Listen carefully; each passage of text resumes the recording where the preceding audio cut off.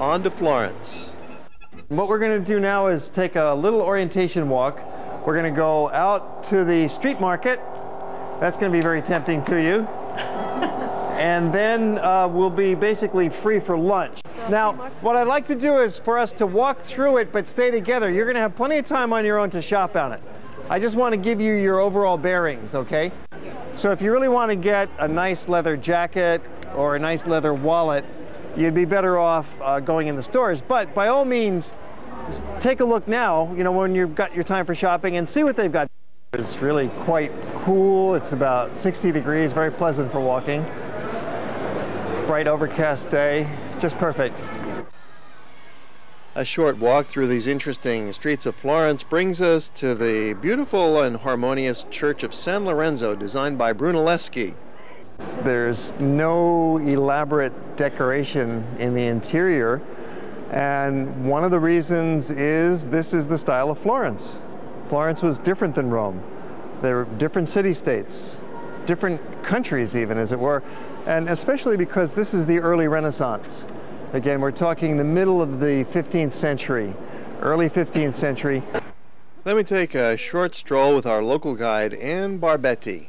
And one of the first sights she brings us to is the ancient baptistery with its famous golden doors. Lorenzo Ghiberti, and they tell 10 stories of the Old Testament. And so they're called the gates of paradise.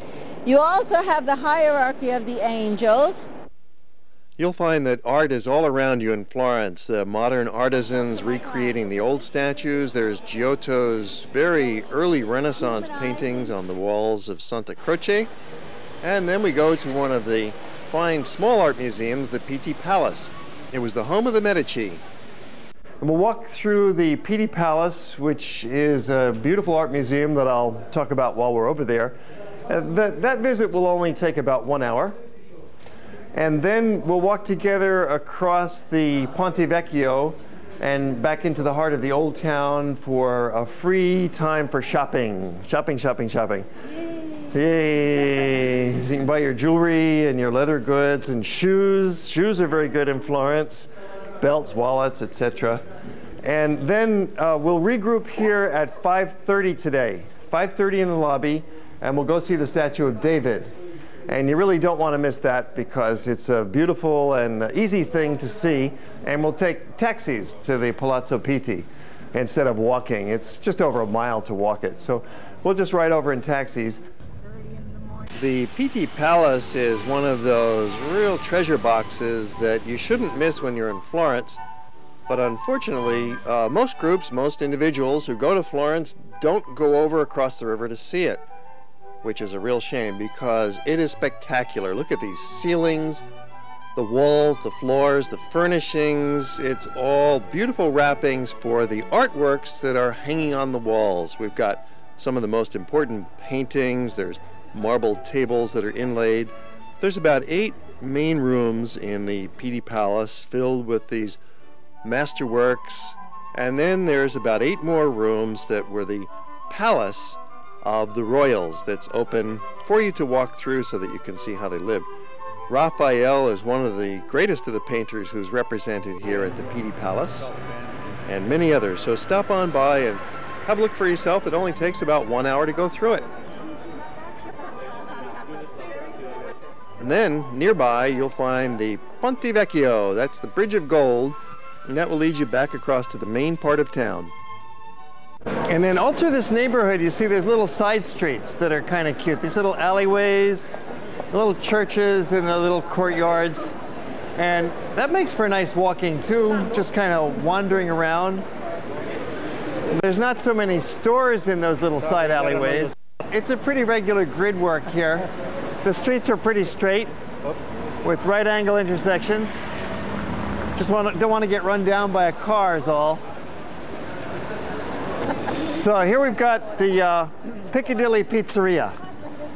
And they have got a fabulous bunch of different kinds of pizza toppings in there. It's really tasty.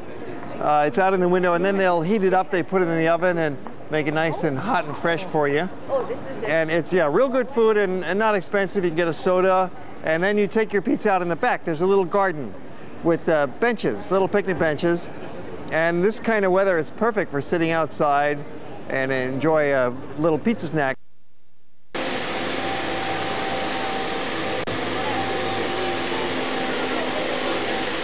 So this is the straw market. Like I was saying, they don't sell straw here anymore. It used to be a straw market. Now it's all for tourist souvenirs and leather wallets.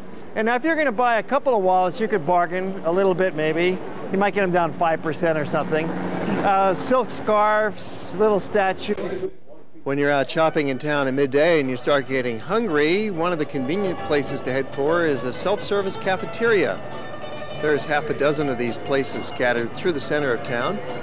The Hot Pot is one that we've enjoyed in the past, right near the Church of Or San Michele. The streets of Florence are just marvelous for walking because they're narrow, they're friendly to the pedestrian, there's hardly any scooters or cars allowed here in the center, and they're lined with shops of all kinds. This particular store specializes in high quality art reproductions of the famous statues of Florence and ancient Rome. One of the greatest names in the art history of Florence is Brunelleschi, and this is one of his first buildings. It's the Hospital of the Innocents, and it was designed in the 1430s. Nearby you'll find the Archaeological Museum of Florence that has several important bronzes from the Etruscan era. Here's the Chimera from the 4th century BC and the Orator from the 1st century BC. Discovered by Renaissance archaeologists, they amazed the public with their beauty. The most amazing statue in Florence and probably in the world is Michelangelo's David, finished in 1504. It established Michelangelo as the greatest artist of his time. It's found in the Accademia Museum, which also has a cast of Giambologna's great statue. And then after going through these artworks, you build up another appetite. So it's time for dinner this time at Le Fonticine, a classic establishment right on Via Nazionale in the heart of Florence. Fabulous restaurant. They've got fresh made pasta. In fact, our waiter was also the pasta maker and save room for some of that dessert. So you can see that Florence is a delight for all the senses. Okay, follow me down the ramp. Watch the dip.